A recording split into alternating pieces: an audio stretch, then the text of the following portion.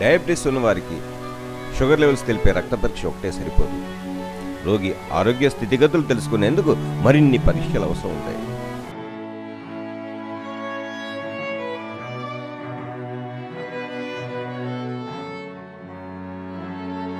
ఏ పరీక్షలు చేయించుకోవాలి? ఎంత కాలానికి ఒకసారి చేయించుకోవాలి? వాటి ప్రయోజనం ఏంటి ప్రముఖ డయాబెటాలజిస్ట్ డాక్టర్ వేణుగోపాల్ రెడ్డి గారు ఆయన మాటల్లోనే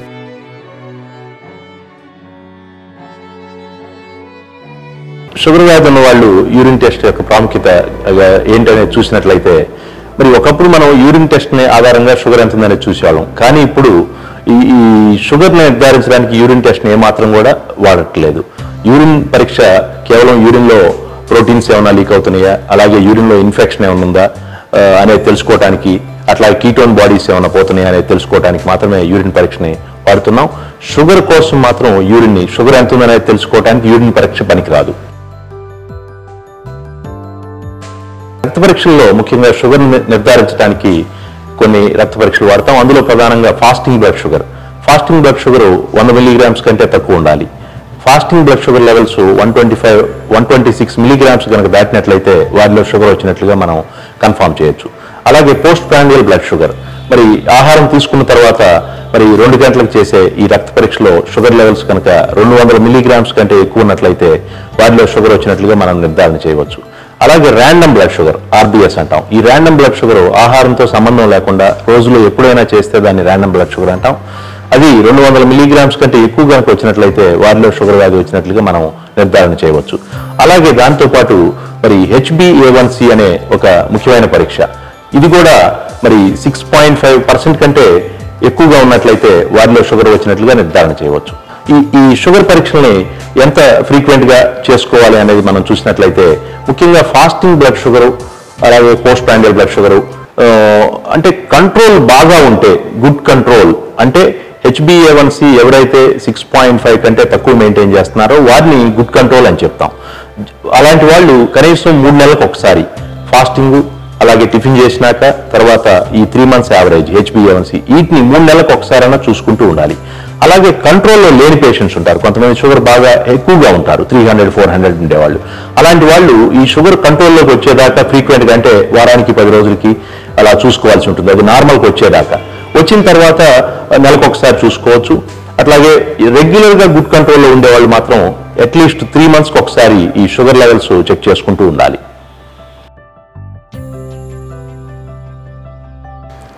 బీపీ షుగర్ ఉన్న వారిలో మరి దాదాపు యాభై అరవై శాతం మందిలో బీపీ కూడా ఉండే అవకాశం ఉంటుంది. షుగర్ వ్యాధి వచ్చి టైం గడిచే కొద్దీ బీపీ కూడా తోడవడం జరుగుతుంది. అందువల్ల పీరియాడికల్గా షుగర్ ఉన్నటువంటి వాళ్ళు బీపీని ప్రతి మూడు నెలలకు ఒకసారి చెక్ చేసుకోవాలి. షుగర్ బీపీ లేకపోయినప్పటికీ కూడా. అలాగే బీపీ ఉండి దానికి మందులు వాడుతున్నటువంటి వాళ్ళు ప్రతి నెల బీపీ చెకప్ని చేసుకుంటూ ఉండాలి. అట్లాగే బీపీ కంట్రోల్లో లేనటువంటి వాళ్ళు బీపీ కనుక ఎక్కువగా ఉన్నట్లయితే మరి వారానికి ఒకసారి బీపీని చెక్ చేసుకోవటం. మరి ఇప్పుడు మనకి లేటెస్ట్గా home BP monitoring machines home BP monitoring machines కూడా వచ్చినాక ఇంట్లో కూడా రోజులో డిఫరెంట్ టైమింగ్స్లో బీపీని చెక్ చేసుకునే అవకాశం ఉంది. ఈ బీపీ లెవెల్స్ ఎక్కువ ఫ్లక్చుయేషన్స్ ఉన్నటువంటి వాళ్ళు అలాంటి హోమ్ బీపీ మానిటరింగ్స్ని కూడా వాడుతూ ఇంట్లో చెక్ చేసుకోవటం మంచిది. అలాగే డయాబెటీస్ ఉన్నటువంటి వారిలో ముఖ్యంగా ఈ డయాబెటిక్ రెటినోపతి అనే ప్రమాదం వలన చూపు అంధత్వం వచ్చే అవకాశం ఉంది. అందువలన డయాబెటిస్ వచ్చినట్లు తెలియగానే బేస్ లైన్లో ఈ కన్ను పరీక్ష రెటీనా చెక్ చేయించుకోవాలి. కన్ను పరీక్ష అంటే మనం అలా కళ్ళజోడు మార్చుకునే పరీక్ష కాదు రెటీనా టెస్ట్ అంటే మీకు కంట్లో డ్రాప్స్ వేసిన తర్వాత డార్క్ రూమ్లో పరీక్ష చేయడం జరుగుతుంది. ఈ రెటీనా చెకప్ అనేది డయాబెటీస్ వచ్చిన ప్రతి వచ్చిన తర్వాత సంవత్సరానికి ఒకసారి చెక్ చేసుకుంటూ ఉండాలి. రెటీనా నార్మల్గా ఉంటే సంవత్సరానికి ఒకసారి సరిపోతుంది.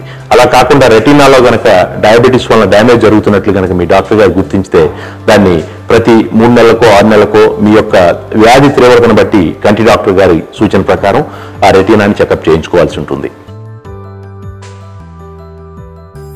ముఖ్యంగా డయాబెటీస్ ఉన్నటువంటి వారిలో ఈ డిజిలిపిడీమియా అంటే కొలెస్ట్రాల్ ప్రాబ్లం కూడా మరి చాలా ఎక్కువ మందిలో ఉంటుంది. ఈ డయాబెటిక్ డిజిలిపిడీమియా అంటాం. అంటే ట్రైగ్లిజరైడ్స్ అధికంగా ఉండటం ఎక్కువగా ఉండటం అట్లాగే మరి గుడ్ కొలెస్ట్రాల్ ఏమో తక్కువగా ఉండటం హెచ్డిఎల్ అలాగే బ్యాడ్ కొలెస్ట్రాల్ ఎక్కువగా ఉండటం టోటల్ కొలెస్ట్రాల్ ఎక్కువగా ఉండటం అనేది డయాబెటీస్ ఉన్నటువంటి వారిలో చాలా మందిలో ఉండేటువంటి కామన్ ప్రాబ్లం సో ఈ లిపిడ్ ప్రొఫైల్ టెస్ట్ని ఫాస్టింగ్లో పరగడుపున చేయించుకోవాల్సి ఉంటుంది. ఈ లిపిడ్ ప్రొఫైల్ టెస్ట్లో మరి కొలెస్ట్రాల్ మోతాదును బట్టి దాన్ని కంట్రోల్ చేసే చేయటానికి లైఫ్ స్టైల్ మోడిఫికేషను ఆహార నియమాలతో పాటు కొంతమందిలో అవసరమైతే మందు బిళ్ళలు స్టాటిన్స్ వాడటం జరుగుతుంది. మరి ఈ కొలెస్ట్రాల్ టెస్ట్ను కూడా కనీసం సంవత్సరానికి ఒకసారి డయాబెటీస్ ఉన్నటువంటి వాళ్ళు తప్పనిసరిగా చూసుకోవాలి. అట్లాగే కొలెస్ట్రాల్ అధిక మోతాదులో ఉన్నటువంటి వాళ్ళు అది కంట్రోల్లోకి వచ్చింది లేనిది మూడు నెలలకు ఒకసారి లేదంటే ఆరు నెలలకు ఒకసారి చూసుకొని చూసుకుంటూ ఉండాలి. అట్లాగే మరి షుగర్ లేనటువంటి వారిలో కూడా కొంతమందిలో కొలెస్ట్రాల్ ఉంటుంది. బీపీ ఉన్నటువంటి వాళ్ళు అట్లాగే హార్ట్ డిసీజ్ ఫ్యామిలీలో కొంతమందికి వంశపారంపర్యంగా గుండె జబ్బులు ఉన్నటువంటి వాళ్ళు బాగా ఒబీజ్గా ఉన్నటువంటి వాళ్ళు ఆల్కహాల్ తీసుకునేటువంటి వాళ్ళు వీరందరిలో కూడా కొలెస్ట్రాల్ ఎక్కువ ఉండడానికి అవకాశం ఉంది. అందువల్ల నార్మల్ పీపుల్ కూడా కొలెస్ట్రాల్ లెవెల్స్ని మరి ఒక ఏజ్ దాటినాక ముప్పై ఏళ్ళు దాటినాక ప్రతి సంవత్సరం కూడా చెకప్ చేసుకోవటం మంచిదే.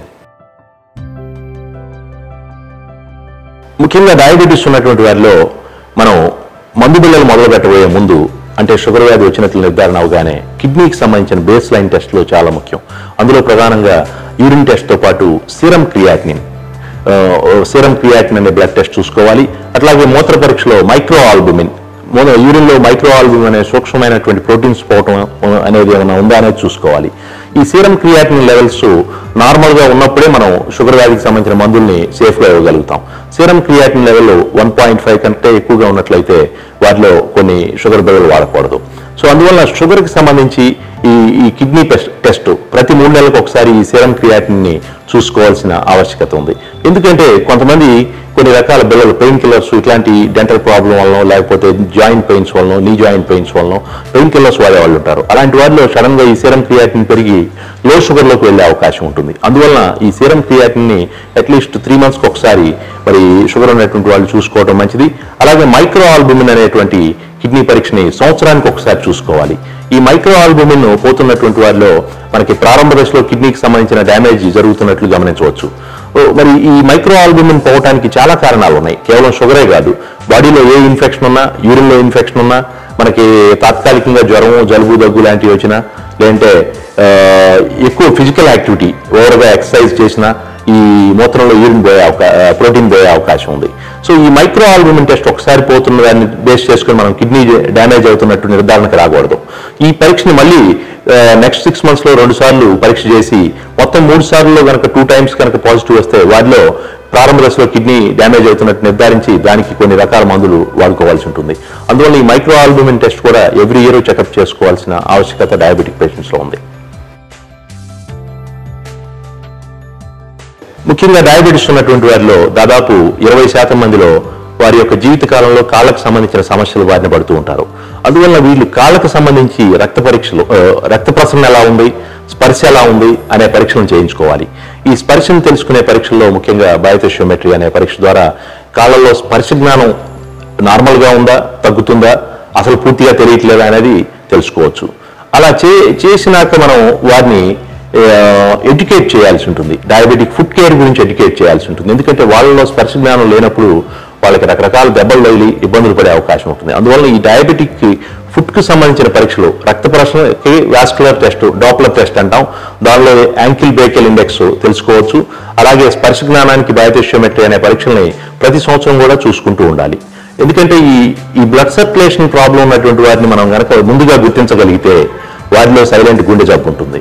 పక్షవాతం వచ్చే అవకాశం ఉంటుంది. పెరిఫెరల్ వాస్కులర్ డిసీజ్ అంటాం. ఈ పీవీడీ ఉన్నటువంటి వారు మరి ముందుగా కనుక గుర్తించగలిగితే వారి గుండెపోటు రాకుండా పెరాలసిస్ బారిన పడకుండా మనం కాపాడుకునే దానికి అవకాశం ఉంది. డయాబెటీస్ ఉన్నటువంటి వారిలో ముఖ్యంగా అన్కంట్రోల్ డయాబెటీస్ షుగర్ని కంట్రోల్లో పెట్టుకున్నటువంటి వారిలో చిగుళ్ళకి సంబంధించిన జింజువైటిస్ ఈ చిగుళ్ళు ఇన్ఫెక్షన్ బారిన పట్టడం దానివల్ల చిగుళ్ళు త్వరగా బలహీనపడి పళ్ళు పళ్ళుకి ఇచ్చే సపోర్టు అవి ఇవ్వకుండా మరి వాటి యొక్క రూట్లు ముఖ్యంగా పళ్ళకు సంబంధించిన రూట్స్ నుంచి అవి వైదొలగటంతో పళ్ళు వీక్ అయిపోయి పళ్ళు త్వరగా ఊడిపోవటం మరి ఎర్లీగా వాళ్ళకి పళ్ళన్నీ కూడా ఊడిపోయి డయాబెటీస్ ఉన్నటువంటి వారిలో మరి డైజెస్టివ్ సమస్యలు వచ్చే తలెత్తే అవకాశం ఉంది. అందువల్ల ఈ డయాబెటీస్ కంట్రోల్లో లేనటువంటి వారిలో పళ్ళ సమస్యలు మరి ఈ చిగుళ్ళు సమస్యలు రావటం చిగుళ్ళ నుంచి రక్తం గారటం చిగుళ్ళు ఇన్ఫెక్షన్ వచ్చి వాపుకు గురవటం మరి ఈ డెంటల్ హైజీన్ uh, అంతా కూడా నోటికి సంబంధించినటువంటి uh, ఆరోగ్య సమస్యలు రావడం జరుగుతుంది. అందువల్ల డయాబెటీస్ని గుడ్ కంట్రోల్లో పెట్టుకుంటూ ప్రతి సంవత్సరం కూడా ఒకసారి డెంటల్ చెకప్ చేయించుకోవాల్సిన అవసరం ఉంది. డయాబెటీస్ ఉన్న వారిలో దాదాపు డెబ్బై శాతం మందిలో ఈ ఒబెసిటీ ఉంది స్థూలకాయం ఉంది. సో ఎక్కువ మందిలో మరి అధిక బరువు వల్ల డయాబెటీస్ బారిన పడుతూ ఉంటారు. అలాగే డయాబెటీస్కి మందులు వాడే వారిలో కూడా బరువు పెరగడానికి అవకాశం ఉంది.